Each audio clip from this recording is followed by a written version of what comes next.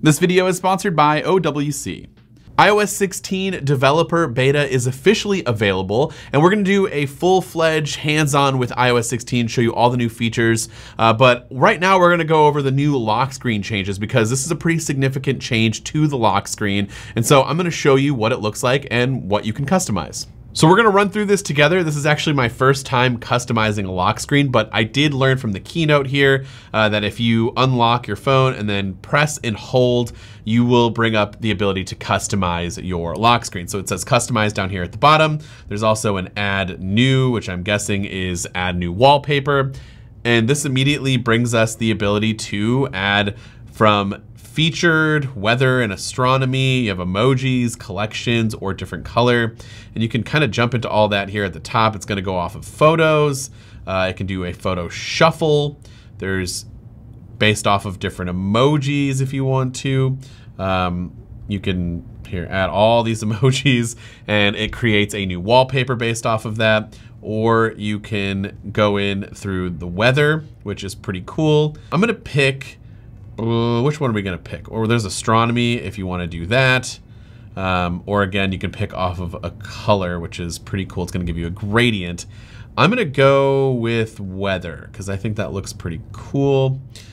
So let's do weather here. And now, as you can see, it's gonna show you what you can customize. It's kind of reminiscent of the uh, Apple Watch like complication customizations or your watch face customization. So as we can see here, if we tap on the top widget, which is your date and time, uh, you can go ahead and pick through different apps and availability of widgets and suggestions and whatever uh, that you want to change here. So I can change that to just Monday the 6th with just the weather.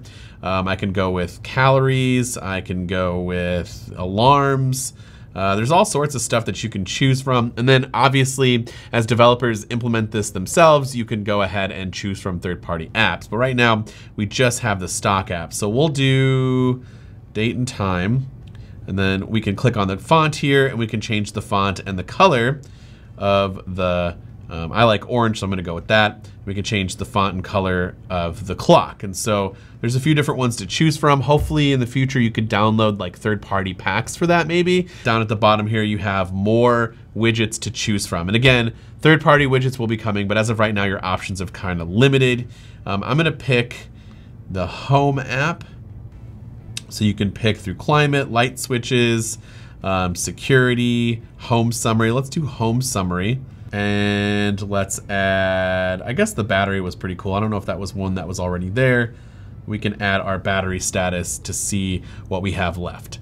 And so that's what you get in terms of your lock screen. And so right now it's cloudy where we're at, so it's not really doing much in terms of, you know, the lock screen itself is just pretty cloudy and gray, but if it's storming, which it looks like it's about to storm here, you'll get the storm interactions, which is pretty cool. You'll have the thunderstorm animations. Um, but let's go ahead and change it to something else. I'm gonna do this Pride one because it is Pride month and this looks really cool. And so we can again customize the different uh, options. You can't change the color because this wallpaper already features a bunch of different colors. So that's what you're getting. Um, and then you can add your widgets like we just did earlier. Also, instead of dragging like I did, you can just tap if the slots are open. So I do have open slots here. So it's automatically adding that for me. So there, now we've got news and we've got calendar added there and now we can hit okay and we're all done. And if you wanted to add it to a focus mode, you can actually do that by um, long pressing and getting into the customization options and then tapping on focus and then you can link the focus that you want to link it with. Um, you can go ahead and set up different focus settings if you haven't found one that you wanted to link it together with. And so now this is going to be my sleep lock screen and it's actually going to put it into my sleep focus mode. And of course you can go back and change that if you want to, you can unlink. So that's pretty much what it looks like to customize your lock screen. I do want to point out how notifications look on your lock screen now. Um, they are now kind of added at the bottom and that's where they come in. I don't have a lot of notifications on this phone. This isn't my primary device, so I had to make my uh, lock unlock here for HomeKit quite a bit. But as you can see here, it's down at the bottom.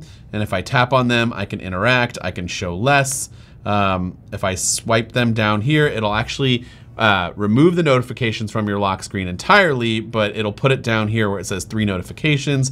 Then I can tap on that to bring them up, which is kind of cool. So if you just kind of want your lock screen to be clean and you know not super bogged down notifications, you can hide them and dismiss them away, which looks really, really nice.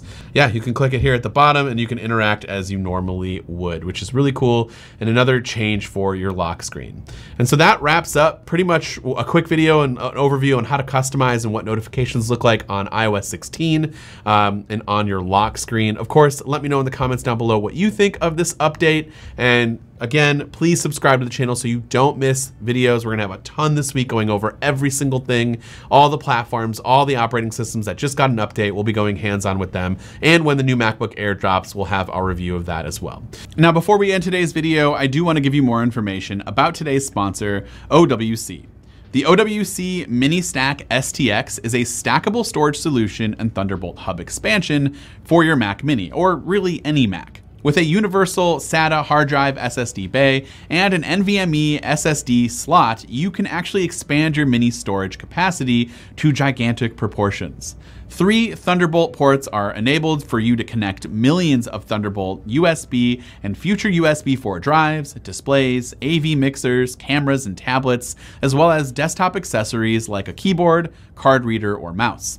The MiniStack STX is whisper quiet due to its internal heatsink and cooling fan. You can add over 200 times more storage to your Mac Mini and add RAID protection via SoftRAID software. And of course, you're adding a mix of up to five Thunderbolt devices, three USB, and two displays.